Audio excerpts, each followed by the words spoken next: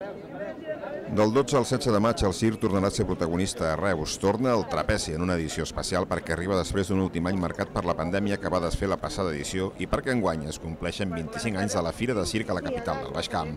La Covid-19 segueix marcant l'agenda dels espectacles i per això la 25a edició de la Fira s'haurà d'adaptar als condicionants. Això es notarà també amb la participació centrada essencialment a companyies catalanes i espanyoles, entre les que trobarem, entre altres, la Vallenca Pepa Plana i el seu guardonat Veus que no veus, o estrenes de Los Galindos o el Clom Leandre, entre altres propostes destacades. La ciutat està orgullosa de tornar a ser referent en poder veure les darreres creacions de circ que enguany provindran de Catalunya, bàsicament, i també de l'Estat.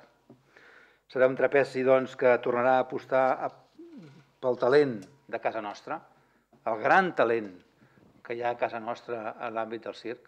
La Fira amplia els dies d'espectacles per evitar aglomeracions i poder mantenir un volum de companyies participants, una trentena similar al d'edicions anteriors a la pandèmia. També adapta nous espais de representació que permetran acotar l'aforament, com la Palma, Mas Iglesias o el Parc Sant Jordi, entre un total de 10 espais.